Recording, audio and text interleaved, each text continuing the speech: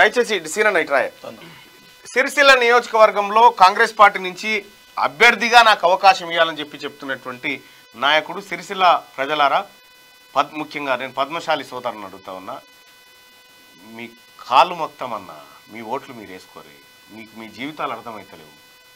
మీ representation అక్కడ పద్మశాలి బిడ్డలకు మద్దతు ఇవ్వండి బీసీలు మద్దతు ఇవ్వండి.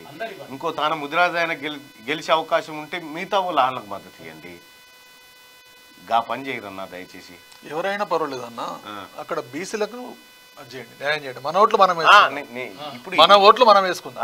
గా పని చేయండి అని చెప్పి అది చేస్తే రాజకీయంగా కానీ ఇతరత్ర అన్ని విధాలు మనం ముందుకు పోయేటువంటి అవకాశం ఇప్పుడు మన ఓట్లు నీ ఓనికి నువ్వు ఓటు వేయకపోతే నాకు నేత బంధు కావాలి ఎట్టొస్తుంది అన్న నీ వాళ్ళు నేతల్లో నలుగురు ఉంటే ఆగుతుందా అది?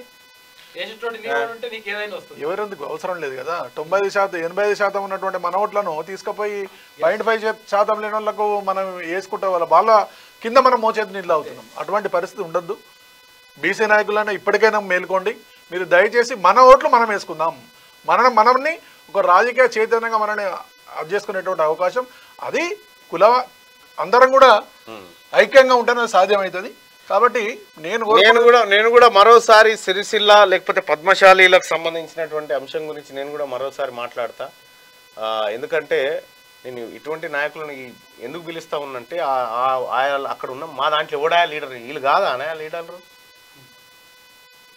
గవి గవి బంద్ చేయరు. ఏ మన దాంట్లో ఎవడు లీడర్ ఉండడు. చేస్తేనే అవుతాడు లీడర్. మనం చేస్తే అవుతారు లీడర్ మీకు దిగిరారు. మొగుల మీదకి ఎవడు దిగిరాడు?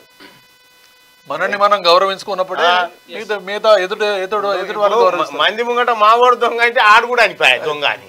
నువ్వు ఫస్ట్ మావాడు దారకారను వాడు కూడా భయపడతాడు మాట్లాడడానికి. దగ్గరికి. నీ ఓన్ని నువ్వు గౌరవించుకో ఫస్ట్.